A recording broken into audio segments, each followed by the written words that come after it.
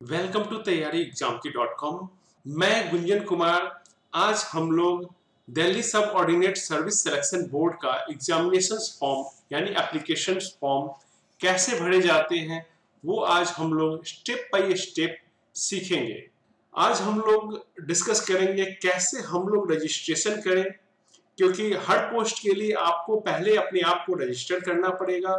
वो भी Delhi subordinate service selection board के ऑफिशियल वेबसाइट पे। फिर आप जिस कैटेगरी के एलिजिबल है, उसकी फॉर्म्स आपको फिलअप करनी पड़ेगी।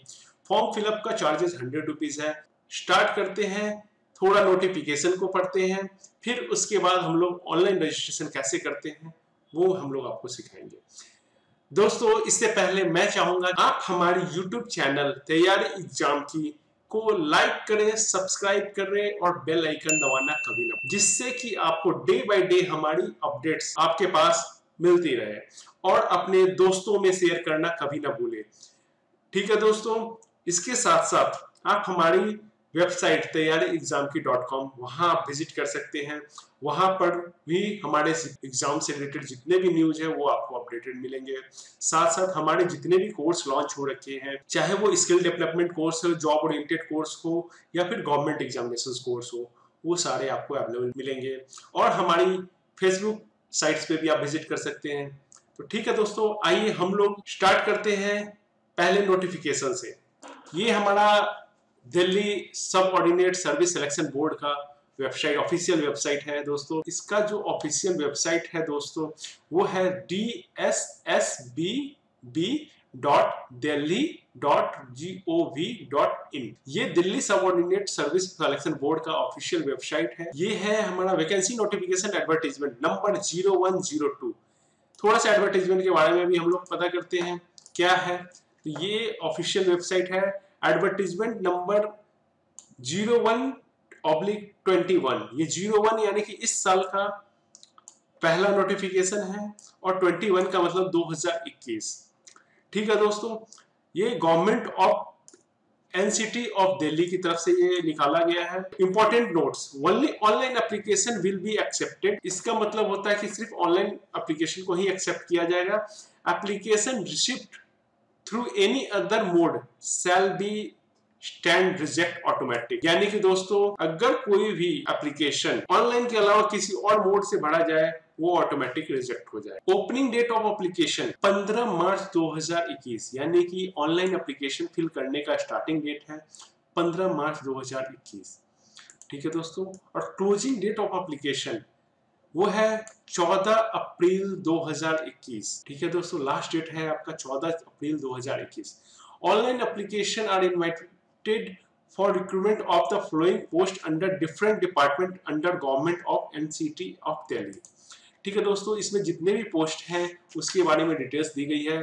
जैसे पोस्ट का कोड क्या है name of the post name of the department grade क्या है ग्रेड पे क्या है कैटेगरी क्या है, किसमें, किस कैटेगरी में कितनी कितनी वैकेंसी आ रखी है टोटल कैटेगरी क्या है ये सारे डिटेल्स इस नोटिफिकेशन ऑफिशियल नोटिफिकेशन में दे रहे हैं। इस नोटिफिकेशन में जो पोस्ट है हमारे लगभग वो है टेक्निकल असिस्टेंट ठीक है दोस्तों टेक्निकल असिस्टेंट के अलावा लैब अटेंडेंट की भी पोस्ट है असिस्टेंट केमिस्ट की भी पोस्ट आ रखी है असिस्टेंट इंजीनियर की भी पोस्ट आ रखी है जूनियर इंजीनियर की भी पोस्ट आ रखी है ड्राफ्टमैन ग्रेड वन की भी पोस्ट आ रखी है पर्सनल असिस्टेंट की भी पोस्ट आ रखी है दोस्तों फार्मासिस्ट की भी आ, रखी है।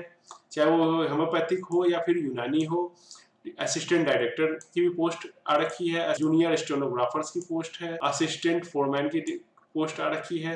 दोस्तों, जो ऑनलाइन एप्लीकेशन फॉर्म का लास्ट डेट है वो 14 अप्रैल 2021 जैसा कि मैंने आपको बता दे रखा है टिल ग्यारह बज के उनसठ पी ठीक है दोस्तों?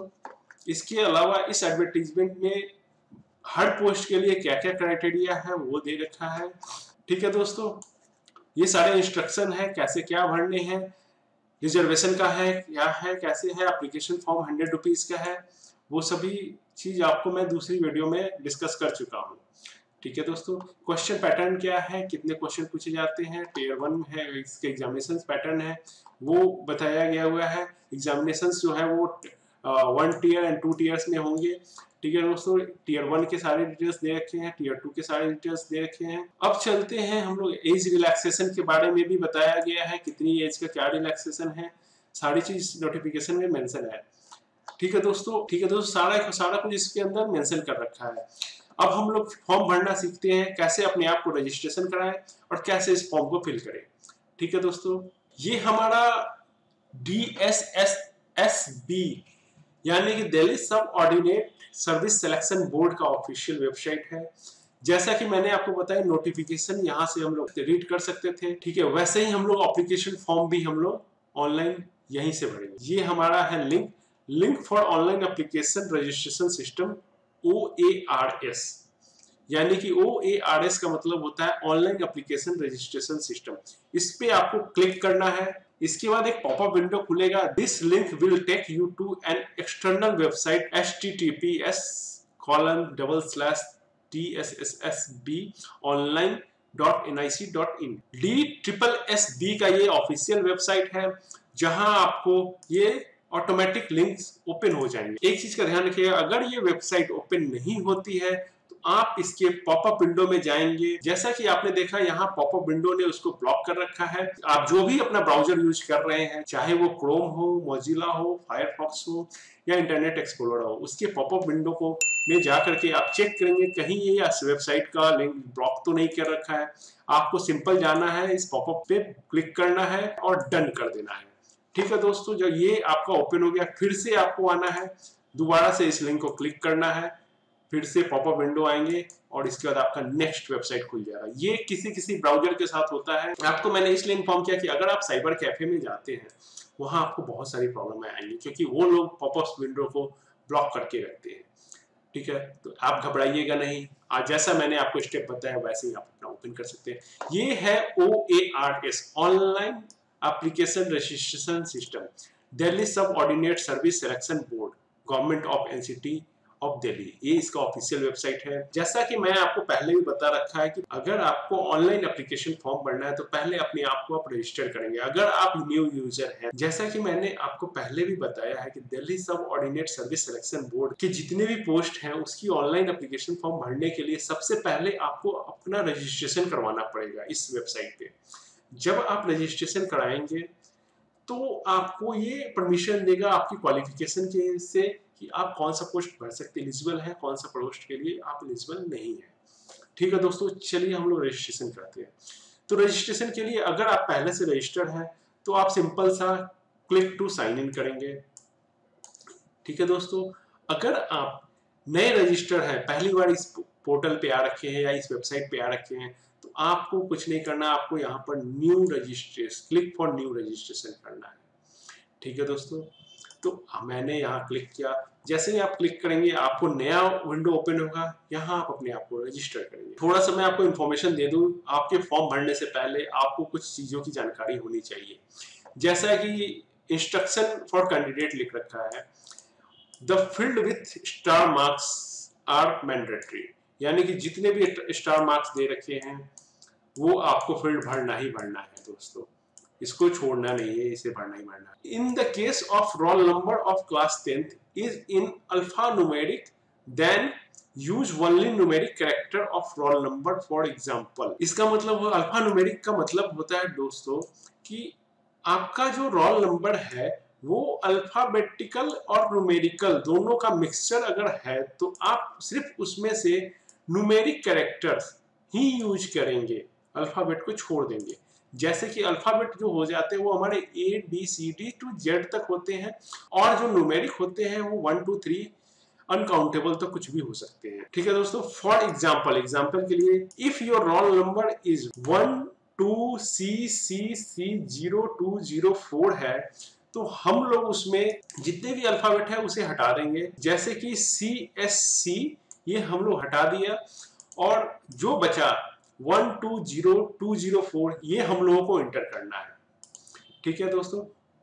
Further please do not enter prefix zero in class tenth roll number as system will truncate all the leading zero from left automatically यानी कि दोस्तों, इसका कहने का मतलब कि अगर आपके रोल नंबर में प्रीफिक्स प्रीफिक्स का मतलब होता है कि अगर आपके रोल नंबर में ज़ीरो पहले लगा है तो आपको उसको हटा करके ही इंटर करना है, क्योंकि जो सिस्टम है वो ज़ीरो को ऑटोमेटिक हटा देगा। एग्ज़ाम्पल के तौर पे मैं आप लोगों को दिखाया जा रहा है। If roll number is double zero one two three four five six zero one two है तो आपको जो एंटर करना है वो सिर्फ़ यही करना है। ज़ीरो हटा देना है one two three four five zero one two only as class tenth roll number tenth के रोल नंबर की ही बात की जा रही है, आपके किसी और ट्वेल्थ के या फिर ग्रेजुएशन के रोल नंबर की बात नहीं की जा रही है। ठीक है दोस्तों, अब तीसरा पॉइंट से candidate can apply for various post only after registration. ये जो मैं आपको बता रहा था, वही चीज़ है कि पहले आपको रजिस्ट्रेशन करना पड़ेगा, फिर आप कोई भी पोस्ट के लिए अप्लाई कर सकते हैं। आफ्टर रजिस्ट्रेशन मतलब रजिस्ट्रेशन के बाद candidate is required to quote his her registration number as login ID and password for further accessing the online system मतलब कि एक बार रजिस्ट्रेशन होने के बाद जो आपका आईडी है और पासवर्ड है, वो फर्दर ऑनलाइन सिस्टम यूज़ करने के लिए होगा। चौथा पॉइंट है the ID proof that is entered by the applicant applicant का मतलब होता है आप, जो फॉर्म भर रहा है। Will be cross check at the time of examination submission of e dossier if shortlisted अगर आपका एप्लीकेशन का मतलब होता है कि अगर आपका एप्लीकेशन शॉर्ट लिस्टेड हो जाता है तो आपने जो भी आईडी प्रूफ लगा रखा है, उसका क्रॉस एग्जामिनेशन होगा, यानी कि आपके, आपकी जो आईडी प्रूफ का चेक होगा, वो एग्जामिनेशन सेंटर पे हो सकता है। Applicant are request to fill registration form carefully. Details on registration form, once finally submit, will be treated as the final, and no changes will be allowed. यानी कि आपको जो भी फॉर्म इसमें भरने हैं, वो आपको देख करके भरने हैं केयरफुली भरने हैं। एक बार अगर सबमिशन हो गया, फिर आप उसको चेंज नहीं कर सकते हैं। तो दोस्तों स्टार्ट करते हैं। फॉर्म कैसे फिल किए जाते हैं? पहला है नेम ऑफ़ अप्लीकेंट अच्छा दोस्तों, ये ध्यान आप ज़रूर देंगे। इसके जब भी आप नेम फिल कर रहे हो तो अपना प्रीफिक्स जैसे कि मिस्टर मिसेज जो नहीं देना है, जो यहाँ पहले से मेंशन है do not prefix mister missus K M S H S M T D R doctor professor ETC तो ये आपको नहीं लगाना है। जैसा कि अगर आपका नाम मिस्टर गुंजन कुमार है तो मैं इसमें सिर्फ़ गुंजन कुमार ही टाइप करूँगा मिस्टर नहीं टाइप करूँगा। मिस्टर हमारा प्रीफिक्स होता है, ये हम लोगों को नहीं लिखना है। तो चलिए स्टार्ट करते हैं। जैसा कि मेरा नाम है गुंजन कुमार, आप हमेशा ध्यान रखिए, कैपिटल लेटर्स में ही सारे फॉर्म्स को फिल करेंगे आप। G U N J N Gunjan K U M A R Kumar. दोस्तों, यहाँ आप देखिए री इंटर नेम ऑफ़ अप्लीकेंट यानी कि दोबारा से इंटर करना है। ये बहुत अच्छी बात है, दोस्तों। जिससे कि हमारा फॉर्म दोबारा री एंटर करने से हम लोग की गलती करने की कोई चांसेस नहीं होती है। जो भी इंफॉर्मेशन हम लोग फिल करते हैं, वो सही होता है। ये मैंने अपना नाम फिल किया। नेक्स्ट है re enter name of applicant re enter name of applicant यानी कि दोबारा से हमें फिर से वो इंटर करना है। हमारा नाम दोबारा इंटर करने से हमारी गलती होने की चांसेस कम हो जाते हैं। फॉर्म सही सही फिलअप होते हैं। मैं दोबारा अपना नाम इंटर करूँगा।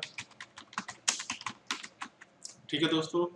अब ये पूछ रहा है date of birth D O B as per certificate of class tenth मतलब कि आपका जो सर्टिफिकेट है टेंथ का सर्टिफिकेट है उस पर जो भी आपकी डेट ऑफ़ बर्थ है, वो यहाँ पर आपको मेंशन करना है।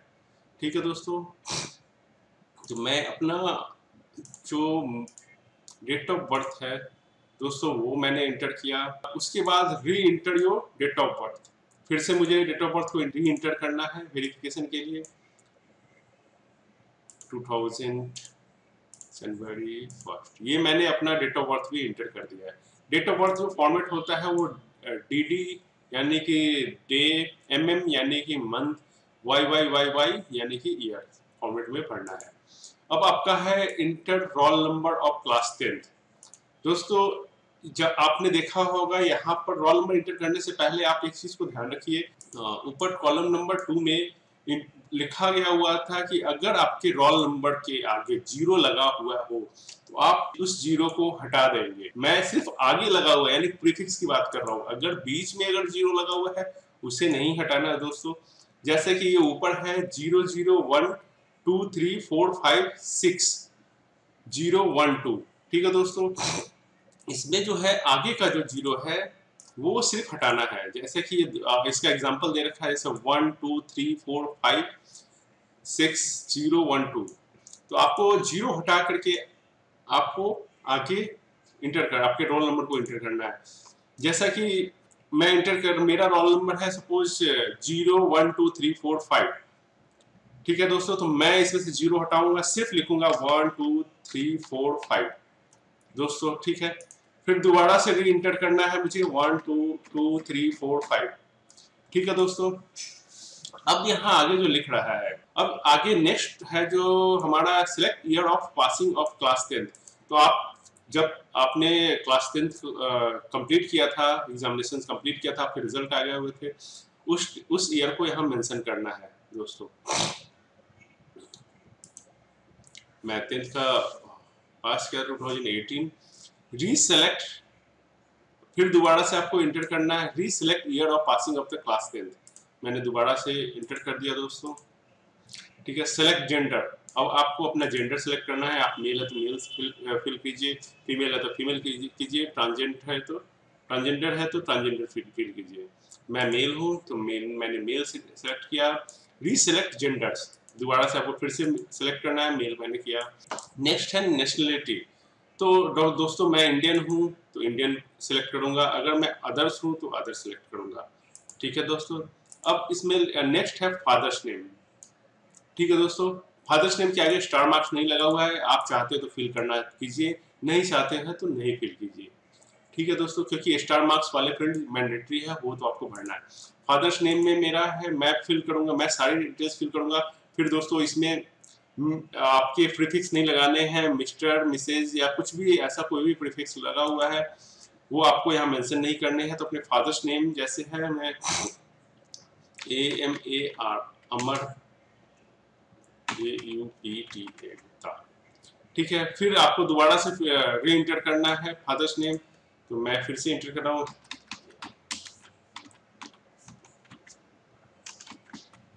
ठीक है दोस्तों। नेक्स्ट है मदर्स नेम आपके मदर्स नेम जो टेंथ के सर्टिफिकेट पे है, वो आपको मेंशन करना है।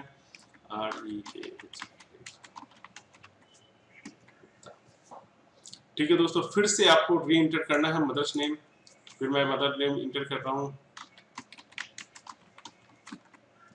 ठीक है दोस्तों स्पॉस नेम ठीक है दोस्तों, यहाँ पर आपको इंटर करना है अपनी वाइफ का नाम। स्पॉस नेम यानी कि पति है तो पत्नी का नाम इंटर करें।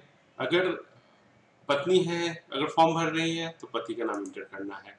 फिर यहाँ पर आप देख रहे हैं सारे कॉलम के आगे प्रीफिक्स नहीं लगाने हैं दोस्तों। ठीक है दोस्तों, मैं अभी अनमैरिड हूँ तो मैं इस फ़ील्ड को छोड़ रहा हूँ। री इंटर स्पाउस नेम दोस्तों स्पाउस नेम फिर से आपको छोड़ना है।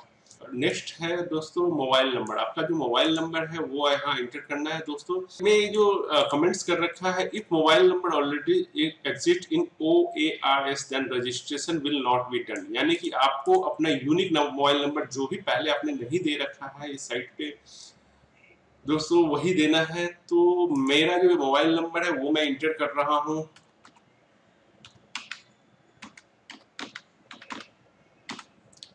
ठीक है दोस्तों, मैंने अपना मोबाइल नंबर इंटर किया, फिर री इंटर मोबाइल नंबर आपको दोबारा से फिर से अपना मोबाइल नंबर इंटर करना है। दोस्तों मोबाइल नंबर आप वही दीजिएगा जिसपे आपकी आपके ओटीपी आ सके। ठीक है दोस्तों, यहाँ पर the value is not same as mobile number मैंने कुछ गलती की, जानबूझ करके किया था जिससे कि आपको ये पता चल सके कि क्या गलती है। और जब भी ये दोनों मैच नहीं करेगा कोई भी फ़ील्ड जो दोबारा से फिल करना है तो आपको एरर देगा ही देगा। तो आप इसको फिर से ठीक कीजिए, जैसा कि मैंने यहाँ पर गड़बड़ किया था। अब ये ठीक हो गया। आपका ईमेल आईडी ईमेल आईडी भी वही देना है, जो पहले से इंटर नहीं है और आप उसको एक्सेस कर सके। एक्सेस करने का मतलब आप उसे ओपन कर सके, क्योंकि ओटीपी या फिर आईडी पासवर्ड सब इसी पे जाते हैं। या जितने भी नोटिफिकेशन होंगे, आपके सारे इस, इसी में ईमेल आईडी पे जाएँगे। तो मैं अपना ईमेल आईडी दे रहा हूँ।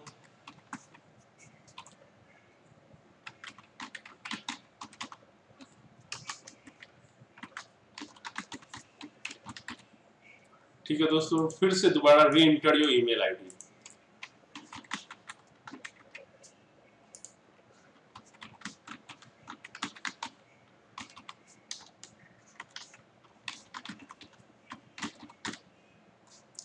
next है आपका यहाँ ओटीपी वो इसमें एंटर करना है, जो आपने मोबाइल नंबर और ईमेल आईडी दे रखा है दोस्तों। तो जैसे ही आपने गेट ओटीपी करेंगे, आपके मोबाइल और ईमेल आईडी पे ओटीपी चला जाएगा। ये इसलिए किया जाता है कि जेन्यून पर्सन ही इस फॉर्म को भर भर सके। जो फेक होते हैं, उनके लिए ये नहीं है। मैं इस पर क्लिक कर रहा हूँ दोस्तों। दोस्तों, मेरे मोबाइल पे ओटीपी आ चुका हुआ है। मैं यहाँ ओटीपी इंटर कर रहा हूँ। ठीक है दोस्तों, अब वेरीफाई ओटीपी करेंगे। तो मेरा मोबाइल वेरीफाइड हो गया है। प्लीज़ प्रोसेस टू रजिस्टर ठीक है दोस्तों। नेक्स्ट है आइडेंटिटी प्रूफ डिटेल्स आपको अपनी डिटेल्स इंटर करनी है for ensuring of guidelines of photo identity card which need to be submitted by the candidate ठीक है दोस्तों in case of Aadhaar number is provided then no scan ID proof is required to be uploaded इसका मतलब होता है दोस्तों कि आपने अगर आधार कार्ड का नंबर यहाँ मेंशन कर रखा है तो आपको किसी भी और आईडी की ज़रूरत नहीं है, जो कि स्कैन करके आपको अपलोड करनी होती है। जैसे कि पहला है do you want to give Aadhaar as an ID proof अगर आप यस करते हैं तो आधार की डिटेल्स आपको फिल करनी पड़ेगी। अगर नो करते हैं, एक नया विंडो खुल जाएगा।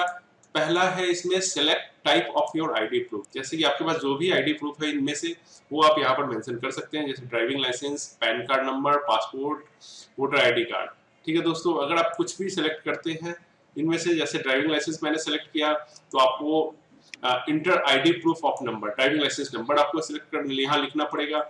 उसका री इंटर योर आईडी प्रूफ दोबारा से इंटर करना पड़ेगा। Enter your name as on ID proof तो आपको यहाँ पर अपने नेम को लिखना होगा, जो आपकी आईडी प्रूफ पे दे रखा है ड्राइविंग लाइसेंस पे। Re enter your name as a ID proof तो आपको फिर से दोबारा से वही आपको आईडी प्रूफ का नेम इंटर करना पड़ेगा, जो आपका नाम ड्राइविंग लाइसेंस पे है। ठीक है दोस्तों, अब यहाँ पर आपके ड्राइविंग लाइसेंस को अपलोड करना पड़ेगा स्कैन करके। ठीक है दोस्तों, और उस अपलोड करने के लिए कुछ क्राइटेरिया है।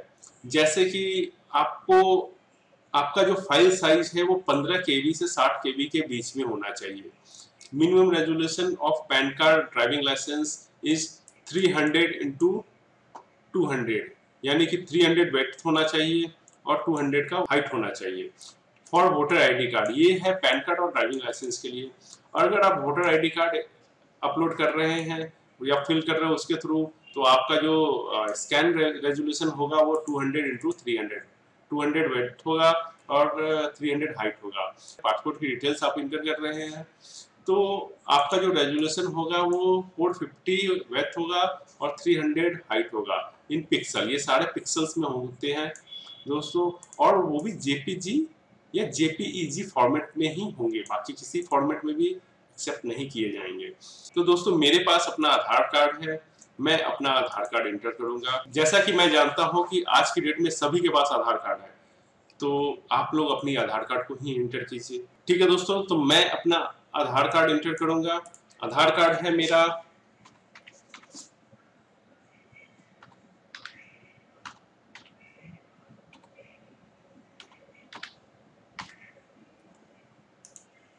मैंने अपना आधार कार्ड इंटर किया, फिर दोबारा से री इंटर जो आधार नंबर, फिर से आधार कार्ड कार्ड को फिर से इंटर करना है।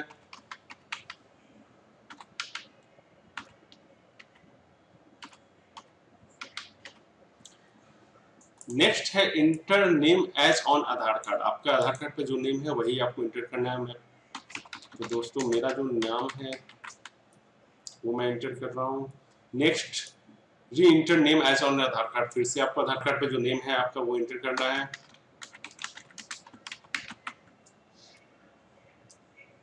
नेक्स्ट है आपका पासवर्ड तो दोस्तों पासवर्ड जो है वो एट डिजिट का होगा। एट डिजिट में आपको एक कैपिटल लेटर्स होना चाहिए।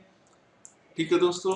एक लोअर लेटर होना चाहिए एक डिजिट होना चाहिए और एक स्पेशल कैरेक्टर कोई सा भी होना चाहिए। तो दोस्तों मैं आपको पासवर्ड बनाना सिखाऊँगा कैसे पासवर्ड आप लिख सकते हैं।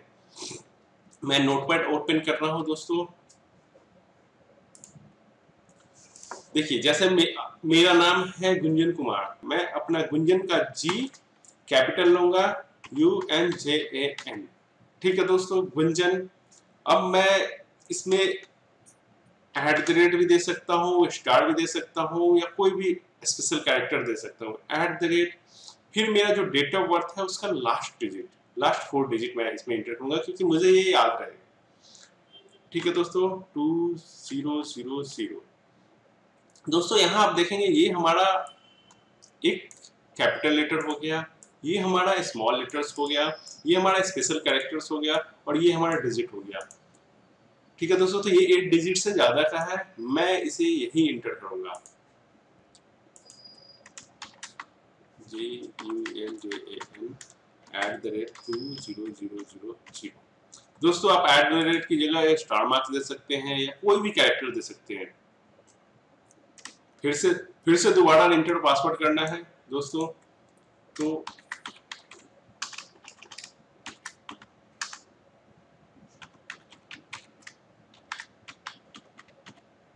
दोस्तों मैंने अपना पासवर्ड दे, देखिए मैंने जानबूझ के गलती किया था जिससे कि मुझे पता चले कि पासवर्ड मैंने मैच के सेम लिखा है या नहीं लिखा है। मैं दोबारा से एंटर करूँगा दोस्तों।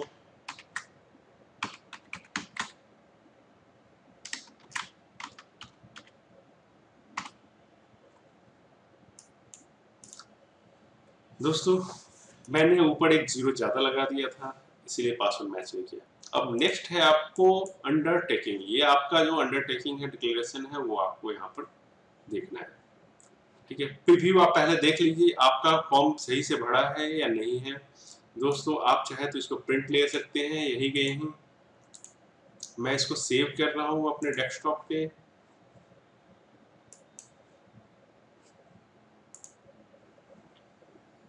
प्रीव्यू जैसे ही किया मैंने, ये खुलकर आ गया। मेरी डिटेल्स सारे यहाँ पर फिल हो रखी है दोस्तों। जैसा कि name of applicant Gunjan Kumar enter name Gunjan Kumar, मेरा date of birth roll number मेरे फादर्स नेम मदर्स नेम मेरा मोबाइल नंबर मेरा ईमेल आईडी ये सारी की सारी डिटेल्स फिल हो रखी है, जो भी मैंने दे रखा है दोस्तों। ठीक है दोस्तों, ये मेरे जितने भी डिटेल्स है वो फिल हो रखी है। अब नेक्स्ट है आई एग्री आपकी जो रजिस्ट्रेशन फॉर्म है जो आपने फिल कर रखा है, उसको एग्री करना है और नेक्स्ट सबमिट का बटन प्रेस करना है। दोस्तों, यहाँ सेव करने के लिए पासवर्ड पूछा जा रहा है, मैं नहीं करूँगा।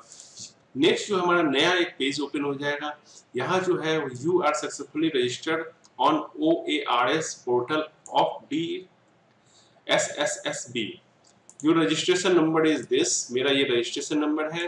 It is a combination of D O B roll number of class tenth and year of passing of class tenth ठीक है, ये रोल नंबर है, मेरा ये आपका कॉम्बिनेशन बना रखा है। Your registration number has been sent to on your registered email ID and mobile number मेरा जो रजिस्ट्रेशन नंबर है, वो जो कि ये है, वो मेरे मोबाइल नंबर और मेरे ईमेल आईडी पे सेंड कर दिया गया है। कि use your registration number as log in I D and password तो दोस्तों, अब हम लोगों ने अपने आप को रजिस्टर कर लिया है Delhi subordinate service selection board पे। ठीक है दोस्तों, अब हम लोग फॉर्म कैसे भरेंगे वो देखते हैं। तो क्लिक टू साइन इन इस पर क्लिक करना है। आपको डेट ऑफ़ बर्थ अपनी जो आपने मेंशन कर रखा है, वो देना है दोस्तों। तो वो है मेरा जो मैंने डेट ऑफ़ बर्थ इंटर किया था, वो मैं दे रहा हूँ। ठीक है दोस्तों, अब आपसे रोल नंबर पूछा जा रहा है। क्लास टेंथ का जो रोल नंबर है, वो इंटर करना है। मैंने वहाँ दे रखा था one two three four five ठीक है दोस्तों पासिंग ईयर क्लास टेंथ का पासिंग ईयर पूछ रहा है तो हम लोग पासिंग ईयर इसमें डालेंगे। पासवर्ड दोस्तों, यहाँ पर जो हम लोगों ने पासवर्ड बनाया था, वो यहाँ इंटर करना है दोस्तों। पासवर्ड जो हम लोगों ने बनाया था, वो यहाँ इंटर करना है दोस्तों। अगर आप पासवर्ड भूल जाते हैं तो नीचे फॉरगेट पासवर्ड पर जाकर आप अपने पासवर्ड को ठीक कर सकते हैं। अब चलते हैं दोस्तों, हम लोग हमने जो पासवर्ड बनाया था, वो यहाँ इंटर करते हैं। तो वो मेरा पासवर्ड है G capital G U N J A N at the rate two triple zero next आपको कैप्चा कोड देना है, जो आप ऊपर लिख रखा है। वो है सेवन थ्री फोर वन और मैं इसको साइन इन करूँगा। विंडो ओपन हो रखा है, जिसमें गुंजन कुमार रजिस्ट्रेशन नंबर मेरा रजिस्ट्रेशन नंबर दिस है, वो इंटर है। देखिए दोस्तों, आज 15 मार्च 2021 है। आज के दिन ही ऑनलाइन रजिस्ट्रेशन फॉर्म ओपन हुए हैं। अभी ग्यारह बज के इक्कीस मिनट हो रहे हैं दोस्तों। ठीक है, यहाँ ऑप्शन है अप्लाई का क्वालिफिकेशन एक्सपीरियंस का अपलोड फ़ोटो का है एडिट एप्लीकेशन का है सबमिट फाइनल एप्लीकेशन है और स्टेटस होम पे आप जा सकते हैं प्रिंट एप्लीकेशन जा सकते हैं ई डोजियर पे जा सकते हैं, चलान आंसर की पे जा सकते हैं फाइनल आंसर की पे जा सकते हैं व्यू रिज़ल्ट देख सकते हैं अपलोड रजिस्ट्रेशन कर सकते हैं चेंज पासवर्ड कर सकते हैं और लॉग आउट कर सकते हैं। रजिस्ट्रेशन में डिटेल्स ये है मेरे जो मैंने आपको किया इंटर किया था। आप चाहे तो ये मॉडिफाई पे क्लिक करके उसको मॉडिफाई भी कर सकते हैं दोस्तों। ठीक है दोस्तों, यहाँ से आप मॉडिफाई कर सकते हैं। हम लोग अब देखेंगे अप्लाई कैसे करना है। ठीक है दोस्तों, अब जो है सारी एडवर्टीजमेंट यहाँ पर ओपन हो चुकी है। आपको जिस पोस्ट के लिए भी आप एलिजिबल हैं, उसको आपको अप्लाई करना है। ठीक है दोस्तों तो लैब लैब अटेंडेंट के लिए मैं अप्लाई करूँगा। अप्लाई नाउ ठीक है दोस्तों आप चाहे तो किसी भी पोस्ट के लिए अप्लाई कर सकते हैं, मैं लैब अटेंडेंट के लिए अप्लाई करूँगा।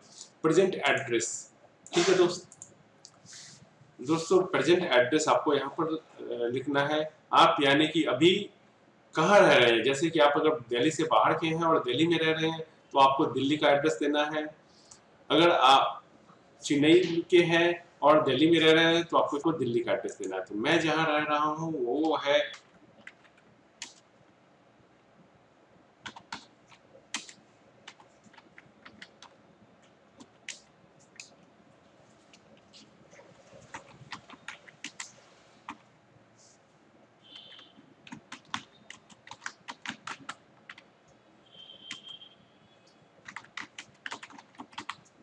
ठीक है दोस्तों, पिन कोड भी इंटर करना है तो वो मैं पिन कोड इंटर कर रहा हूँ। नेक्स्ट जो है वो परमानेंट एड्रेस है। परमानेंट एड्रेस उसे कहते हैं जहाँ से आप बिलोंग करते हैं। सपोज़ आप बिहार के हैं और आप बिहार से ही फॉर्म भर रहे हैं, उसी एड्रेस पे रह रहे हैं तो आपका प्रेजेंट और परमानेंट एड्रेस दोनों सेम हो रखा है। तो इसके लिए आपको यहाँ पर चेक बॉक्स को क्लिक करना है, दोनों एड्रेस सेम हो जाएँगे। नेक्स्ट है कैटेगरी आप किस कैटेगरी से बिलोंग करते हैं दोस्तों? अगर आप यू से हैं ओबीसी से हैं एससी से हैं एसटी से हैं या ईडब्ल्यूएस e से हैं तो आपको इन सभी में से जो भी, जिससे भी आप बिलोंग करते हैं, वो आपको उसका सर्टिफिकेट आपको यहाँ लगाना पड़ेगा। आप उसको सेलेक्ट कीजिए। उसके बाद ये कुछ डिटेल्स हैं, आप एक सर्विस मैन है गवर्नमेंट सर्वेंट है या डिपार्टमेंटल कैंडिडेट है, वो सब आपको इसमें से जो भी है, आप उसमें से टिक कीजिए। और सब कैटेगरी में आपकी ये इतनी सारी डिटेल्स है, अगर इसमें से आप कोई भी कैटेगरी में आते हैं तो आप इसको फिल कर सकते हैं। उसके बाद आपको यहाँ पर टिक करना है और आपको सबमिट करना है। दोस्तों, यहाँ देखेंगे आप स्टेप वन ऑब्लिक फाइव यानी कि पाँच पेज का ये फॉर्म है। आप अभी पहले पेज पे हैं, इसको सबमिट करना है। Please select category. तो आपको कैटेगरी सेलेक्ट करना है। ठीक है दोस्तों, मैं व्यू आर सेलेक्ट करूँगा दोस्तों, और यहाँ पर मैं सबमिट का बटन हमारे जो भी डॉक्यूमेंट्स हैं, वो अपलोड करने हैं। जैसे photographs signatures left thumb impression and right thumb impression दोस्तों, आइए चलिए हम लोग अपलोड करते हैं। आपको चूज़ फ़ाइल में जाना है। दोस्तों, इससे पहले आपकी जो फ़ोटो है, वो लगभग 50 केवी से 30 केवी के बीच होनी चाहिए और उसका जो वेथ और हाइट है, वो आपका 480 ऑब्लिक 672 पिक्सल होनी चाहिए। दोस्तों दोस्तों ये हम लोगों ने अपलोड कर दिया फ़ोटो ठीक है दोस्तों अब आपका सिग्नेचर हम अब हमारा सिग्नेचर अपलोड करना है दोस्तों हम लोगों ने अपना सिग्नेचर भी अपलोड कर दिया अपलोड करना है दोस्तों ठीक है दोस्तों अब हमारा लेफ़्ट थंबल इम्प्रेशन उसे अपलोड करना है और उसके बाद ये अपलोड का बटन प्रेस करना है दोस्तों ये अपलोड हो गया ठीक है दोस्तों उसका राइट थंबल इम्प्रेशन हम लोगों को अपलोड करना है, फिर ये हम लोगों का अपलोड का बटन है, वो क्लिक करना है। ठीक है, दोस्तों तो मेरे, ये मेरी फ़ोटो आ गई। नेक्स्ट है डिजायरेबल एक्सपीरियंस नील मेरा जो कोई भी एक्सपीरियंस नहीं है, इसलिए मैं इसको नहीं भरूँगा। नेक्स्ट पे चला जाऊँगा मैं, दोस्तों। नेक्स्ट पे जाते हैं ये मेरी डिटेल्स ओपन हो गई। दोस्तों, अगर मुझे कुछ इसमें से डिटेल्स एडिट करनी है तो मैं एडिट करूँगा। नहीं तो मैं यहाँ पर फाइनल सबमिशन कर, करके पे कर दूँगा ठीक है दोस्तों ऐड क्वालिफिकेशन एक्सपीरियंस अगर आप यहाँ पर ऐड करना चाहते हैं तो हो गया step four public five next है पे ऑनलाइन या सबमिट फाइनल एप्लीकेशन तो मैं इसको पे करूँगा दोस्तों। नेक्स्ट जो विंडो ओपन होगा select post applied laboratory attendant के लिए मैंने अप्लाई किया है पे ऑनलाइन या फिर री वेरीफाई पेमेंट स्टेटस तो मैं नेक्स्ट जो क्लिक करूँगा वो पे अब नेक्स्ट है स्टेटस आप यहाँ पर अपनी अपना जो फॉर्म है, जो फिल किया, उसका स्टेटस आप देख सकते हैं। ठीक है दोस्तों? आप अपने प्रिंट एप्लीकेशन ले सकते हैं। जो अगर कुछ पेंडिंग हुआ तो वो यहाँ आ जाएगा। तो इतनी सारी यहाँ पर डिटेल्स होती हैं। आप चाहें तो यहाँ पर कुछ भी चेंजेस कर सकते हैं एप्लीकेशन फॉर्म भर सकते हैं दोस्तों। तो दोस्तों, ये रहा हमारा Delhi subordinate service selection board का ऑनलाइन एप्लीकेशन फॉर्म कैसे भरे जाते हैं, कैसे अप्लाई किए जाते हैं, वो आज मैंने आपको बताया है दोस्तों। ठीक है दोस्तों, मुझे जैसा लगता है, ये बहुत ही इंफॉर्मेशन वीडियो है, क्योंकि बहुत लोग, बहुत सारी गलतियाँ करते हैं, बहुत लोग डरते हैं साइबर कैफ़े जाते हैं, किसी को बोलते हैं एप्लीकेशन फॉर्म भरने के लिए, जबकि एप्लीकेशन फॉर्म भरना बहुत ही ईजी है। आप चाहे तो स्टेप बाय स्टेप पढ़ करके खुद से भर सकते हैं ठीक है दोस्तों कुछ चीज़ों का ध्यान रखना पड़ता है। जैसे आपके फोटोग्राफ्स साइज़ है, वो आपको सही से अपलोड करनी है। सिग्नेचर्स अपलोड करने हैं थंबनेल इंप्रेशन अपलोड करने हैं। और जो आपका रिजर्वेशन क्राइटेरिया है, उसके रिलेटेड जो भी डॉक्यूमेंट्स है, वो अपलोड करने हैं। ठीक है दोस्तों? तो आज हम लोगों ने ये चीज़ सीखा। तो दोस्तों, इसी के साथ मैं चाहूँगा कि आप हमारे यूट्यूब चैनल तैयारी एग्ज़ाम की को लाइक करें सब्सक्राइब करें बेल आइकन दबाएँ जिससे कि आपको टाइम टाइम पे नोटिफिकेशन हमारे जितने भी ऑनलाइन एप्लीकेशन फॉर्म भरे जाते हैं उसकी नोटिफिकेशन आपके पास आती रहे। और इसके साथ आप, आप हमारे तैयारी एग्ज़ाम की डॉट कॉम पे विज़िट कर कीजिए। वहाँ पर आपको जितने भी नोटिफिकेशन है वहाँ भी अवेलेबल मिलेंगे। जितने भी कोर्सेज हैं वो चाहे वो जॉब ओरिएंटेड कोर्स है स्किल डेवलपमेंट कोर्स हैं या फिर गवर्नमेंट एग्जामिनेशन प्रिपरेशन के लिए जितने भी कोर्सेज हैं, वो सारे वहाँ पे दे रखे हैं ट्रेशरीज हैं। आप उसे चाहे पढ़ सकते आप उसे रीड कर सकते हैं और अपनी नॉलेज को बढ़ा सकते हैं। ठीक है दोस्तों?